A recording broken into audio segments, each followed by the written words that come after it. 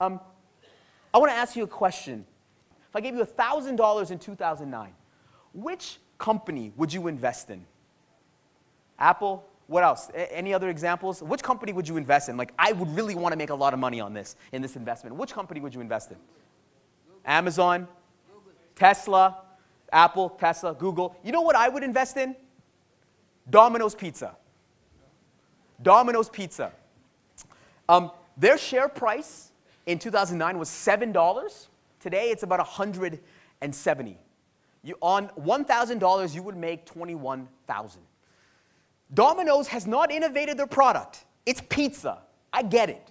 It's cheese, pepperoni, dough. There's no innovation in the product. You know, I- you're going to see occasional innovation on food, but our view is if we get it right, if we're doing the basics really well, we don't have to be part of that kind of product of the month club.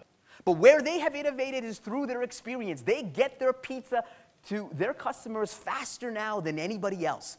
You can literally tweet them with, an with a pepperoni emoji, and they'll get you. They'll figure out how to get the pizza to you. They, they're, they're on their uh, Facebook Messenger app, and they, you, can, you, you can just message them in real time, and they will get a pizza to you. They have chatbots, they have drones, they have, they're using artificial intelligence.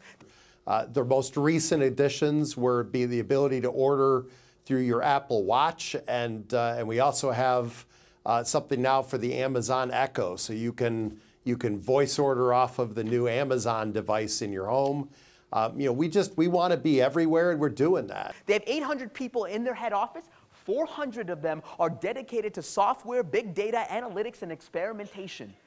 This is an organization that has a basic need. They have pizza. But they, but they understood the power of digital disruption and have been able to play and navigate in this entire world, which is phenomenal. Because we always think of these big tech companies. Oh, we, we, we can't experiment. That's a big tech company. Well, you could be also a pizza company and experiment. In fact, Domino's looks at themselves as not a pizza company anymore. They actually look at themselves as a technology company.